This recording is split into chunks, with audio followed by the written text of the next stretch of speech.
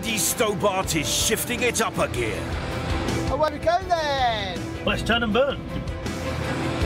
From Cornwall to Kilbride, they're among the kings of road and rail. Readying the runway as Southend Airport lifts off to more destinations than ever. Thank you. Just next, please. Unleashing ultra-modern kit. It's the milk float on steroids. As you can see, it's a big one. They're rampaging through rocky runs. Come on! It's a little bit of a, uh, a white knuckle ride at the moment. Braving the wildest weather. I don't like snow. One minute there it was clear, and the next minute couldn't see nothing. And heading off their hardest hauls. Mental, this, innit?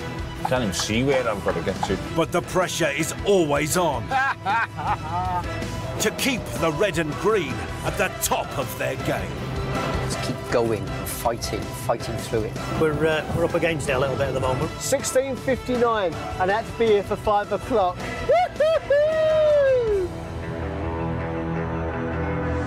Coming up, treacherous winter weather pushes ice-cool Gareth Ayres to the limit. Yeah, it's a little bit of a, uh, a white knuckle ride at the moment. Last thing we want to do is, uh, is get blown off a road like this.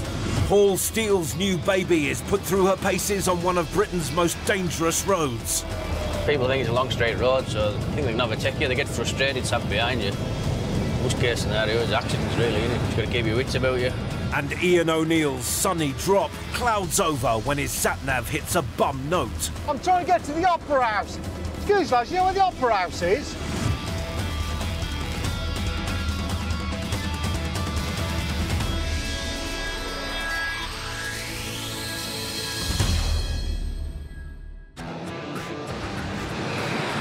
This haulage firm first delivered fertiliser to Cumbria in a single truck.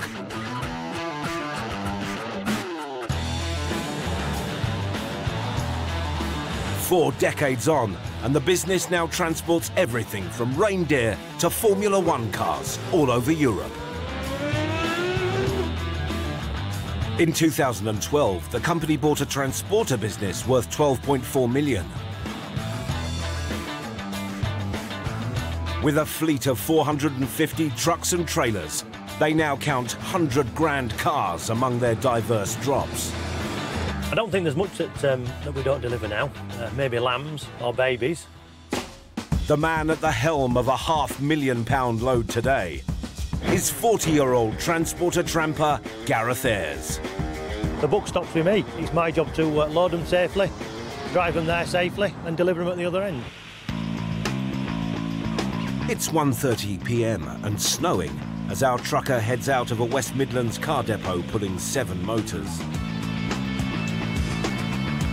We've got some uh, expensive four-wheel drive vehicles on board. There's a lot of responsibility on my shoulders when you've got an expensive load like this.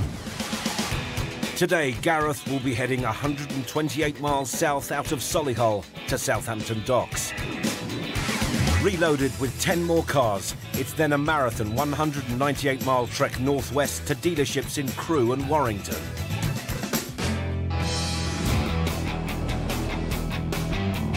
With cargo like this, he's the envy of every tramper. But Gareth can't afford a slip in this weather.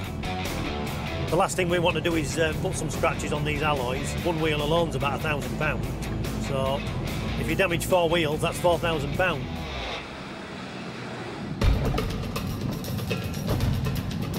An hour later, steadily inching down the M40 past Oxford, the bad weather worsens. It's snowy and windy now. It's, it's certainly uh, checking us about a little bit as we're driving down here. You can sort of feel the truck moving and, uh, and swaying slightly. Got to really keep your wits about you when it's like this. With Gareth's 18 years experience, this monster machine should be in safe hands. But even this pro's on edge. It's a little bit of a, uh, a white knuckle ride at the moment. You tend to find that your palms get a bit sweaty and you, you're sort of gripping the steering wheel and uh, you know you're just trying to uh, sort of keep the uh, the truck on the straight and narrow. At 18.75 metres long, our diligent driver must steer a steady course to prevent the worst from happening. Last thing we want to do is get blown off a road like this. Getting involved in an accident on one of these doesn't really sort of bear thinking about. It's everybody's worst nightmare. You could do a lot of damage and a lot of injury with a machine like this.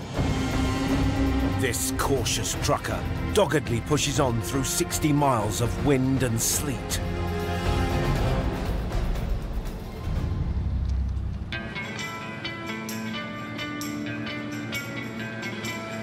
And by four o'clock, his load in mint condition, Gareth arrives at the dock.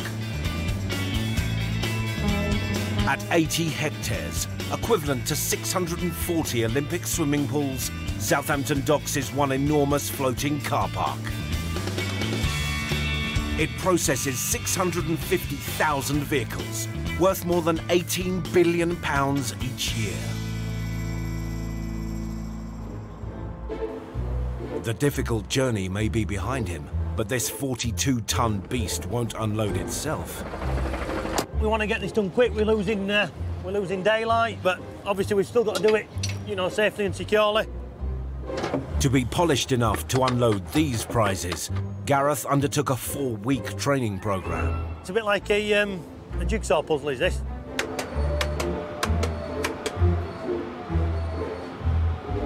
Levers operate a sophisticated hydraulic system, allowing him to move each car deck independently. You know, you've got to make all the decks meet. Everything's got to, uh, you know, everything's got to be sort of done right. Obviously, the last thing we want to do is get them this far and then, uh, and then damage the vehicle. That would be, uh, that would be disastrous. Made by Transporter Engineering, this trailer is model Evo 5. Fully loaded, it weighs in at 42 tons and is almost 5 meters high. This monster machine can hold up to 12 cars at a time on individual stainless steel decks. The trailer is powered with 180 to 190 meters of hydraulic hoses, with each transporter worth over 170,000 pounds. They are now the highest spec vehicles in the Stobart fleet. Get the skids out so we can uh, run the vehicles off. Costing up to 100 grand each, any damage to one of the 4x4s in this wet weather could be expensive.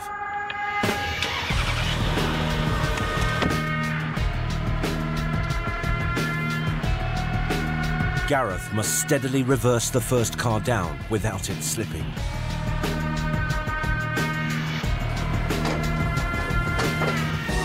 And does it without a hitch. It's very wide on the truck, it's pretty tight, there's not a lot to play with. An hour's painstaking work later, and our cautious crusader rolls his last ride off. Bingo, that's your lot. It's almost five, and there's less than an hour of daylight to get the transporter reloaded for its next drop. Ten more expensive cars to put on, and uh, we want to try and get them on before it gets too dark, so we'll, uh, we'll get beavering away. With another 500 grand load and 100 miles to cover to a safe overnight stop, Gareth's got no time to lose. Coming up, can Tanker Pro Mark Ashurst battle darkness to keep the Carlisle depot on the road? We're going up there at its range, snow, hail, wind, whatever. And will cautious crusader Gareth Ayres get his flash cars loaded before nightfall? We're losing the light fast. We could do with some Wembley-style floodlights down here.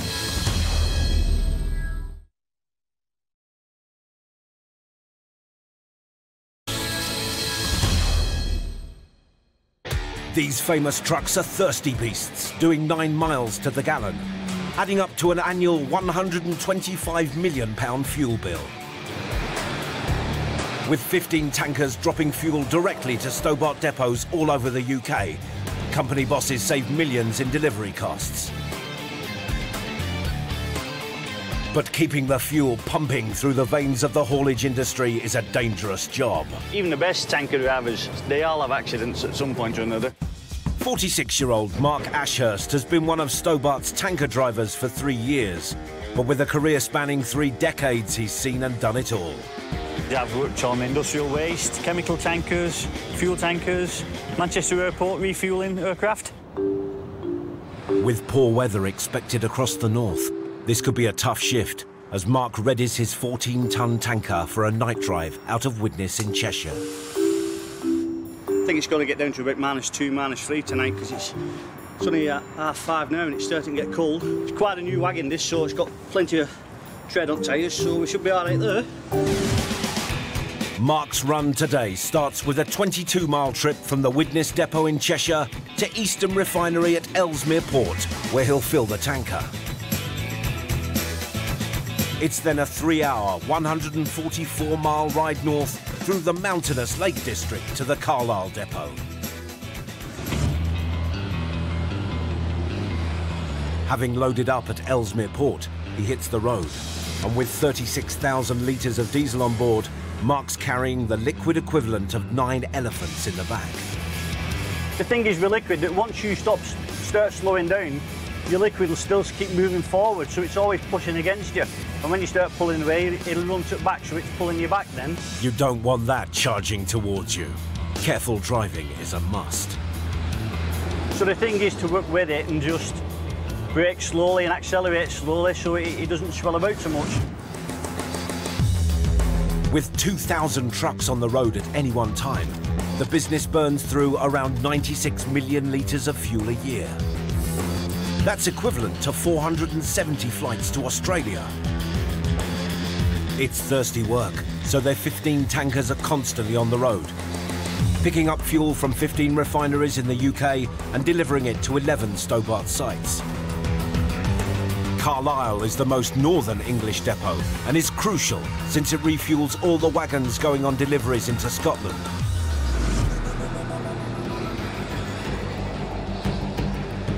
Whatever the conditions to come, this solitary soldier must get the fuel to Carlisle. It doesn't do it any good to be running out of fuel, so we're going up there at its rain, snow, hail, wind, whatever. With enough fuel on board to fill 72 wagons, Mark climbs the M6 through Cumbria. But as he crosses Shap Fell, at 320 metres above sea level, one of the highest points on any motorway in the UK, the temperature plummets. Minus three now, minus four. I said in the space of about two miles there, it's dropped four degrees. Lowest it's been so far is minus five, minus six. Didn't think it was going to get so cold. Minus 17 is about lowest I've seen. Near Abington, heading towards Scotland. With the tarmac icing over and no lights on this stretch of motorway, driving demands full concentration. Yeah, it's pitch black. For these other wagons coming out of the way in cars, see nothing. Not a nice place for be breaking down, is it? Truck and trucker take it steady through this 10 mile stretch. And by 8.30 pm, they head back down the peaks onto the better lit A road into the Carlisle depot.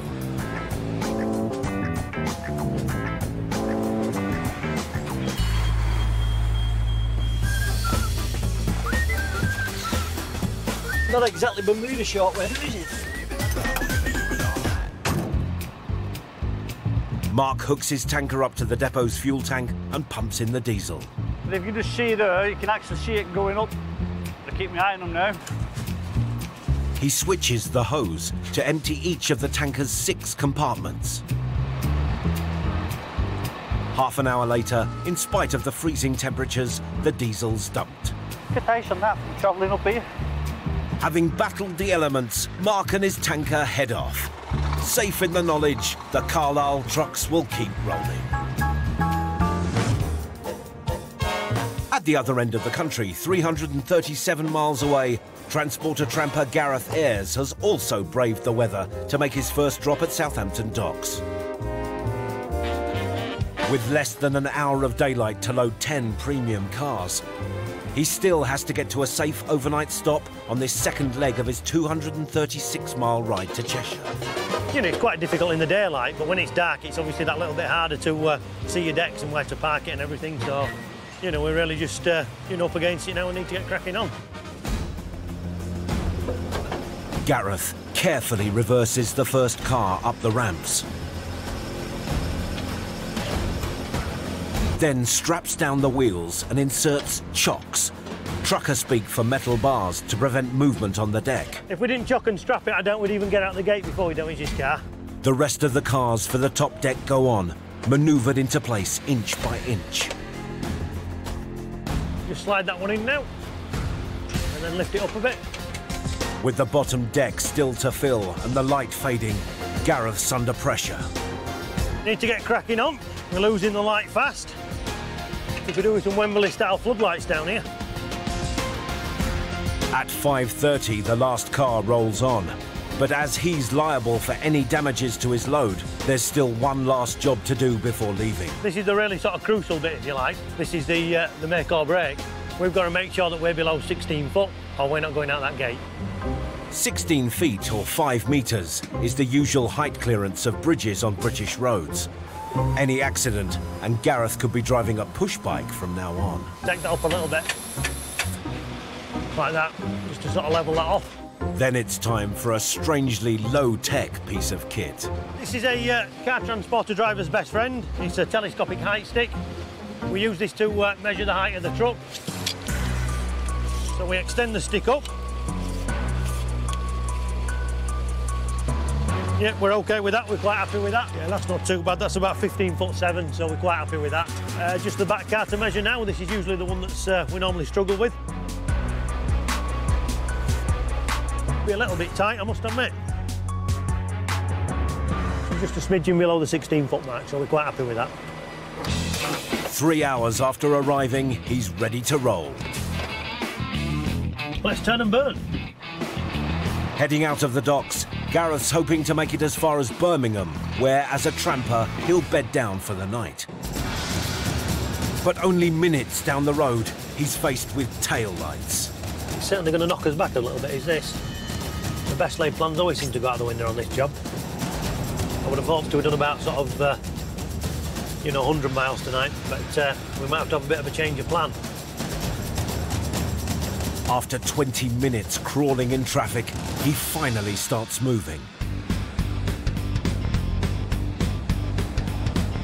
I think we're going to have to uh, stop a little bit short from where we originally were going to get to, so I think we'll uh, have to just do that and uh, make a bit of an earlier start in the morning. But stopping short means finding an alternative place to park. We can't just sort of park at, you know, the side of the road or in lay-bys or things like that. This is the kind of place where we don't want to stop. Really sort of skinny lay-by. We need to uh, we need to make sure we're in a sort of safe and secure place. You don't know who's uh, who's around there in the night. Could be tampering with the cars. We don't want to wake up in the morning and find all the cars are on bricks. And it isn't only the cars he's concerned about. If they can't get into the cars, they might try and break in the cab and get the keys, so I could be in danger myself as well. Motoring into Berkshire, Gareth's worried he might be both out of pocket and carjacked. Yeah, we're hoping to get backed up in uh, in services tonight. It's uh, sort of a nice, secure place to park. It's off the uh, off the main road, so it should be nice and quiet as well. Get a decent night's sleep. Here's hoping. As the bright lights of the service station beckon, Gareth's made it to safety, relieved and ready to call it a night. Job done. Time for bed. 6 a.m. the next day, Morning. and Gareth's luxury cargo is still intact. Obviously, we've got sort of quite a high value load on, so you know you've got to be sort of extra vigilant and make sure that nothing, uh, nothing untoward's been happening in the night. His first drop of two in Crewe is expecting him at nine, so Gareth hits the road for the 155 mile ride northwest. We've got about a three-hour journey into our first drop. Obviously, we've got to get through some quite busy traffic places as well, like around Birmingham. So could have a few problems on our front door.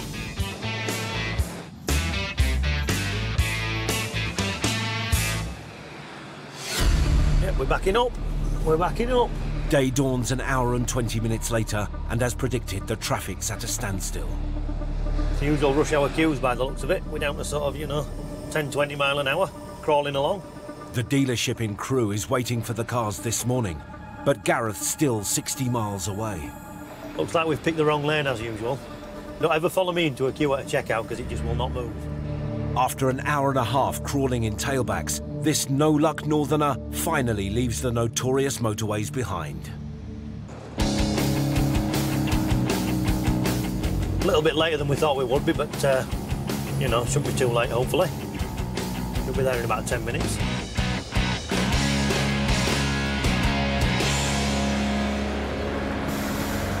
Only half an hour overdue, Gareth pulls up in Crewe. But the transporter is too long to fit in the car park, so he's got to perform the offload at the roadside.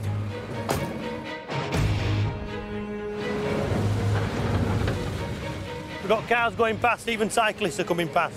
So we've got to sort of keep, um, you know, got to keep our wits about us. We've got to get the cars unstrapped and uh, keep sort of half an eye on the traffic. He successfully drops half his load, but it's a nail-biting wait as the salesmen carry out their inspection. It's always a bit nerve-wracking, is this? You know, hopefully they'll, uh, they'll give it a clean bill of health. If the dealers find just a single scratch, they may reject the cars.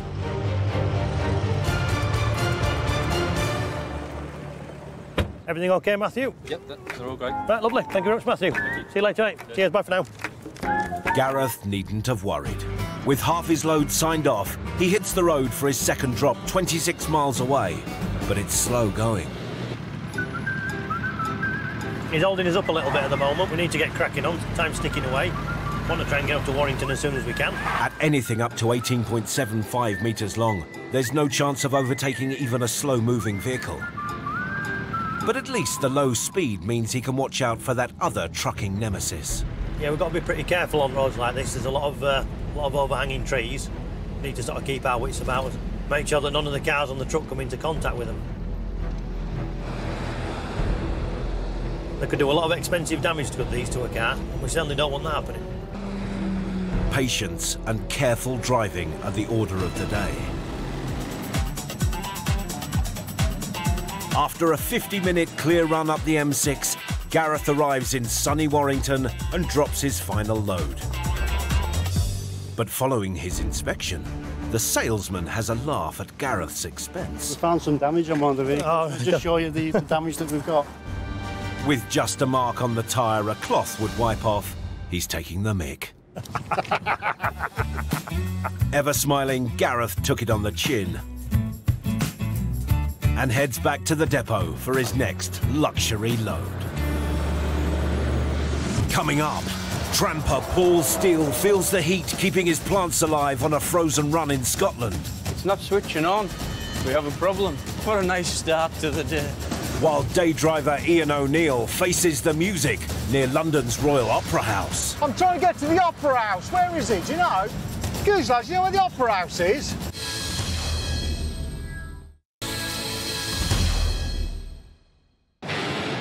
The red and green armada is a familiar sight on Britain's roads. Of 4,500 drivers, 750 are trampers who live in their trucks five days a week.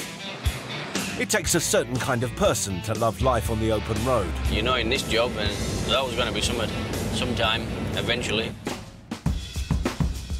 But piloting his brand new baby, 35-year-old tramper Paul Steele's pleased as punch. Nice truck inside, nice to drive, plenty of room. For the last few days, the UK's been in the grip of a deep freeze. It'll be a testing trek for this new truck as our laid-back driver delivers a consignment of plants to Inverness. But before Paul can get on his way, he connects up a heater to keep the pansies pampered. And obviously, it's minus at the minute. So the heater has to be on so the plants don't die before we get to Inverness. A few minutes of tugging at cables, but something's wrong. It's not switching on. We have a problem. Paul starts the truck to see if the battery's sending charge. Everything's fine, but battery's switched on, but there's no life to the trailer. What a nice start to the day. He's supposed to be in Inverness by half past two. Unless the cavalry can get him going, that's not looking likely. But it turns out to be a rather simple issue. Press hard on the button. Right, job's a good one. That's you. On your way. We have life. Thanking his lucky stars, it was only a minor human error. There's just time to show off his gleaming new cab. Just had it two days. Starting to get familiar with it. As you can see, it's a big one. Paul's Mercedes Actros is a long-distance workhorse, but it's the cab interior that sets it apart. Called a Gigaspace, The cab has 920 litres more room than other trucks. That's enough space to store an extra 28 crates of beer. Like the ultimate party pad, it has a 2.2 metre long bed. While a fold-away pillow means no more aching necks poring over those haulage magazines by night. With 2.13 metres of headroom, even a king-size tramper will stand erect in the morning. And this lofty lorry driver's certainly the envy of the fleet as he hits the tarmac out of Cumbria. Today he'll be driving a marathon 250 miles. Heading out of the Carlisle depot, the first 100 miles of the motorway should be reasonably clear. But it's the final 100 miles up the A9, one of Britain's most dangerous roads, that'll be the biggest test. Normally, if you're going to get any problems, that's where you'll get them on the A9 because it goes over a bit higher ground, so you could end up among a bit of snow, a bit of ice. Let's hope for a safe journey. Let's carry on. Get there in one piece. As Paul pounds the tarmac on clear roads up the M74, he relaxes and ponders his trucking background. My grandfather drove trucks and my great-grandfather had his own, I think, he had his own wagon. So it's kind of just passed down through generations, I think. Ah, you'd think we're a bunch of diesel gypsies, yeah. Paul's been driving nearly four hours. By law, he must take a break in the next half an hour. But the next services at Perth are a way off. I've got 31 miles to Perth and I've got 40 minutes to do it in. As the pressure to stop builds, Paul steers his heated hothouse onto the trucker's nightmare, the high-altitude A9. From what I believe, A9 is one of the most dangerous roads in Scotland for accident black spots and deaths. So this is time to wake up a bit, keep alert. Watch for idiots, watch for ice, watch for snow. Paul can't afford a mishap now. One slip could spell disaster. Yeah, you'd rather get there, even if it's late. You better be in there late than never. With legal driving time dwindling, there's still no sign of the services. Dropped four hours, 12 minutes now, so next 18 minutes. If I can't make it to where I actually want to be, there is a lay-by just before it, but there's obviously nothing there. It's gonna be, gonna be a lot bit tight, I think, looking at it. And it's not only icy roads and a ticking clock he's worried about. When we stop, I'll have to check, make sure the heating system's still on on the trailer. Minus temperatures like we have now. Plants will be dead. Nobody wants to buy dead plants. Find out later if this laid-back tramper makes it to his stop in time and with his plants still alive.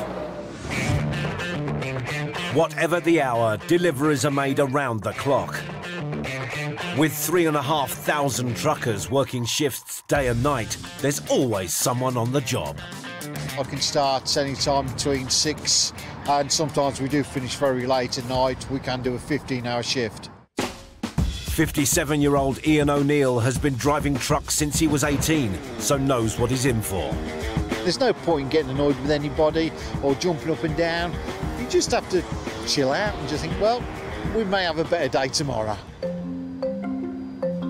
It's a 5am start at the Crick Depot, where Ian seals up 20 pallets of pharmaceuticals and water on Connie, a regular-looking rigid, which is anything but ordinary on the inside. This honeycomb here, this is where the actual electric motor is. And uh, it just acts like a milk float. Connie is the only electric hybrid truck in the fleet, and Ian's amused she's so called because she's economical. You tell me a woman that's economical because I'll have it. No, no, no, let's rephrase that. uh, I can feel that uh, noose getting a bit tighter. She's a nice little girl, though. From the Crick Depot, Ian's got an 84-mile run to Ruislip in northwest London, where he'll make his first drop. Then it's 14 miles southeast into the busy capital to make a second delivery at the Royal Opera House, Covent Garden. After that, it's 20 miles east to the Aveley depot on the outskirts of London, where Ian will reload for the next day. It should be routine, but heading south, his drop in London is playing on this breezy Brummie's mind. I haven't done this one before, so I think it's going to be quite fun because it's surrounded by one-way streets. It's all right finding the place, but it's finding where you've got to deliver it. Ian may come unstuck in busy London, but with clear motorway for now, he makes it to his first drop in just over an hour and a half. We're here. That's it. God. But before he unloads, that troublesome next delivery's on his mind again. Let's see uh, how we're going to get in there. Deep joy. It's 14 miles away. And it says it'll take us 41 minutes to get there. Who's the comedian? 41 minutes. There's only one remedy for a bad journey ahead a nice cuppa. Lovely stuff. Keep me going for a bit longer.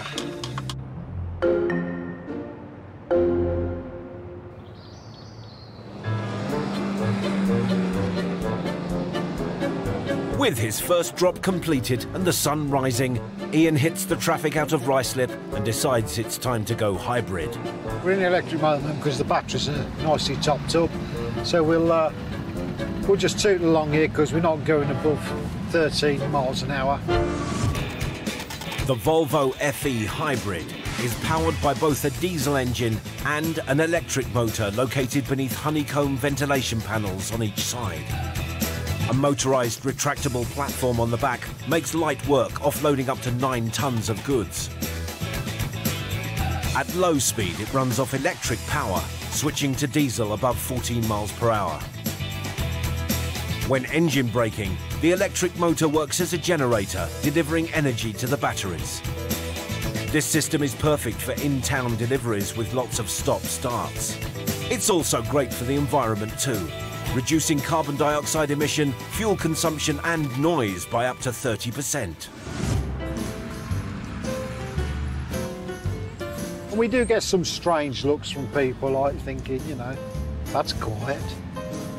And, uh, and then when the diesel kicks in, they go, nah, normal old diesel. But at the moment, she's very quiet. In fact, we can hear the, the blower a lot more than we can hear the engine. It's a milk float on steroids. I tell you, it's, it's great fun.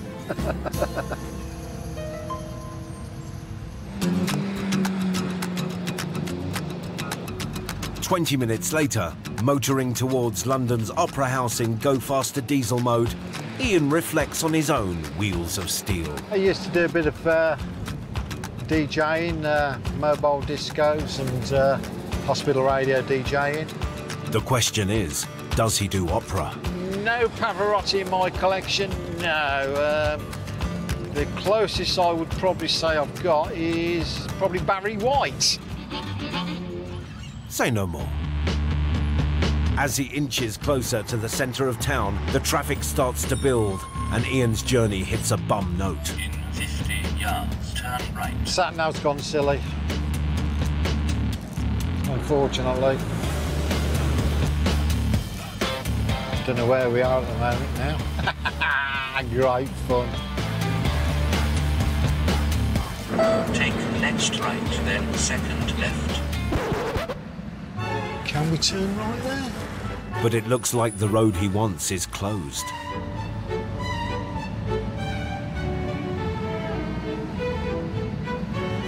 What we've got to do is go up here, do a right and a left. They should be down here.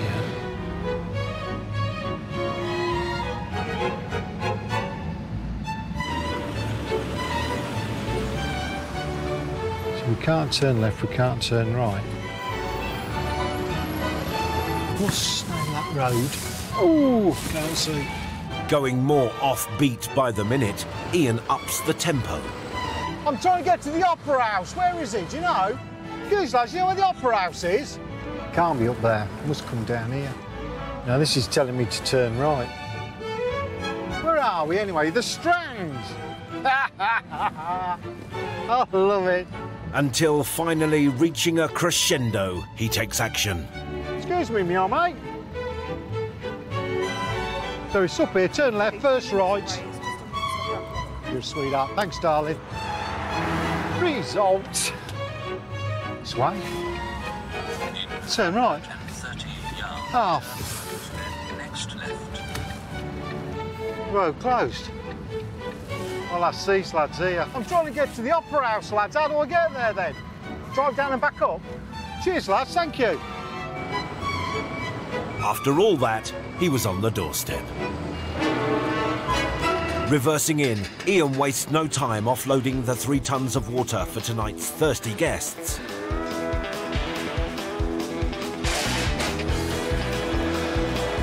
I hope the wife's watching this. She reckons I'll just sit on me bum all day. In less time than it took him to get lost, Ian's delivered the water and worked out why the drop was so tricky to find. Yeah, obviously we've had problems this morning getting into it because everywhere's been blocked off. Uh, it's because they're doing it for the BAFTAs, so it's all blocked off. Uh, they've got a carpet the road yet, put a canopy all over there, and that's why it's absolute chaos here. But hey, we're done. Who cares? Let's rock on. A much easier ride east through the capital, and as Ian traces the River Thames out to the Aveley depot, he finishes his run on a high note. The weather's beautiful, sun's shining, you've done your deliveries, everybody's happy. This is the best bit about the job now, and it's a Friday as well, which is even better. Great. Coming up, can tramper Paul Steele make it to his stop in time on freezing Scottish roads? It's gonna be, I'll be tight, I think, looking at it. Or will dangerous drivers get the upper hand on this notorious northern ride? Patient van driving, very risky, very, very dodgy. That's probably what causes most of the accidents up here.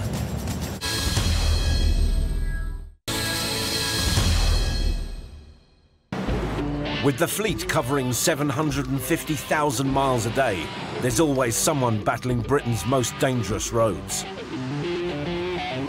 Up in Scotland, where most of the high-risk highways lie, it's a treacherous trek up the notorious A9 for tramper Paul Steele as he delivers plants to Inverness.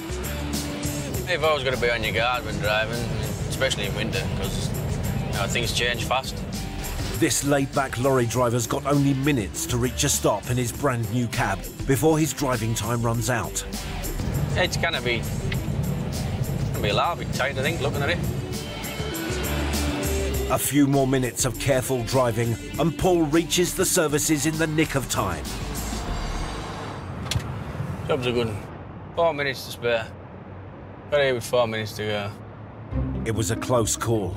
A minute over time and Paul could have got a fine. Before he takes his break, he needs to check the heater in the trailer is still on.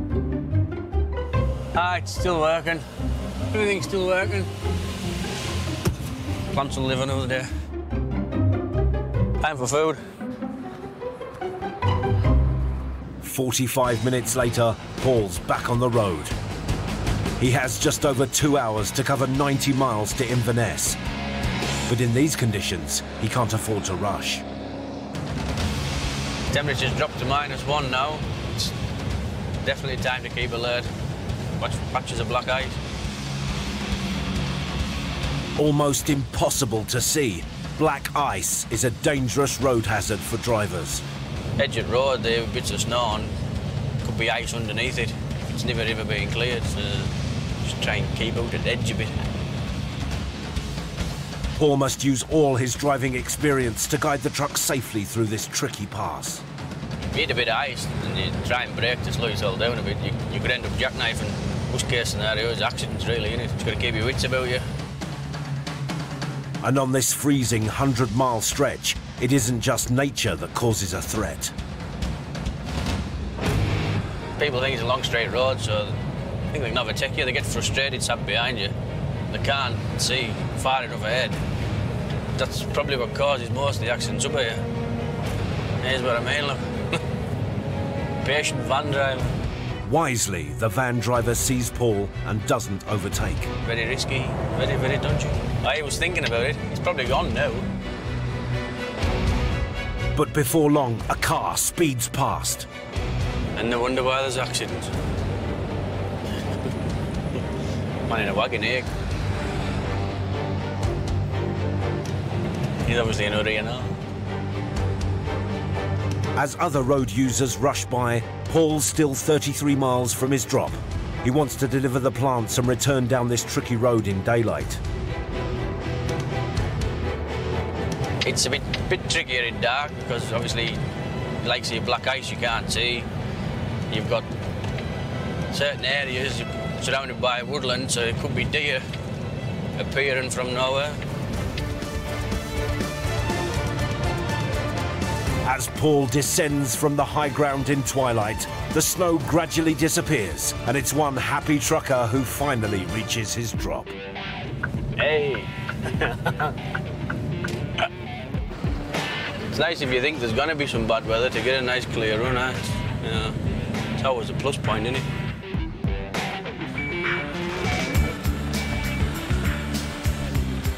A well-executed blindside reverse into his parking space, and Paul's a chirpy chappy. Ta-da!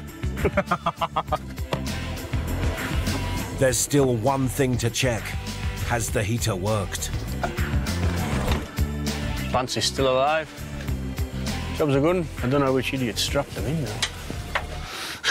The forklift driver wastes no time and takes Paul's plants off.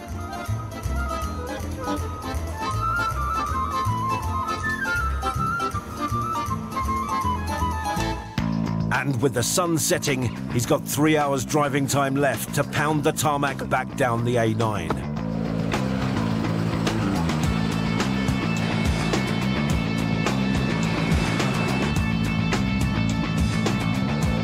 Night soon falls, but truck and trucker make it to their overnight stop intact.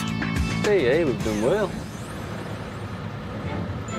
Parked up and proud his brand new lady saw him through, this tidy driver must return the favour before he calls it a night. This is my over. It's not exactly Dyson. Gets into nooks and crannies that you can't always get into. The Gigaspace needs a go-over. My wife actually bought us this over for Christmas. The title we get is Tramper doesn't mean you have to live like a tramp. You tell him, Paul. Next time on Eddie Stobart Trucks and Trailers, tramper Craig Garside finds himself in a muddy mess. Mental this, innit? Transporter trucker Gareth Ayres gets himself into a tight squeeze.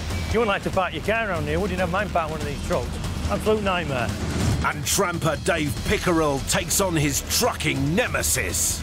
You get idiots like this, reversing out onto fast-moving traffic. This is why I hate London. Why I hate it.